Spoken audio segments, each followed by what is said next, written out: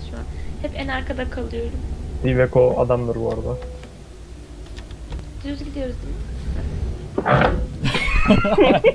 Aynen.